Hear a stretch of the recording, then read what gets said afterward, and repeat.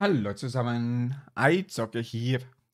In diesem Video zeige ich euch die Quest Rückkehr zu Obadai anzunehmen bei Sedais Leichnam auf der Höhlenfeuerhalbinsel an dieser Position.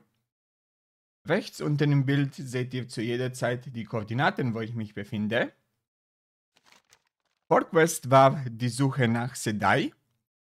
Ich nehme die Quest auf auf dem Patch Stand 9.0.5, also Anfang Shadowlands. Das Ganze sollte aber auch in BC Classic funktionieren. Das Ganze geht jetzt ziemlich flott. Man muss auch keine Gegner bekämpfen. Zumindest wenn man nicht will. Wenn man will, kann man ja zu diesen Knochen laufen. Das sind Gegner, die allerdings nicht zu Quest gehören. Lange Rede, kurzer Sinn. Quest ist abzugeben bei Anahoret Obadai auf der Höhlenfeuerhalbinsel an dieser Position. Hoffe, mein Video konnte euch helfen. Falls ja, dürft ihr gerne auch mir helfen, indem ihr das Video positiv bewertet und oder meinen Kanal abonniert.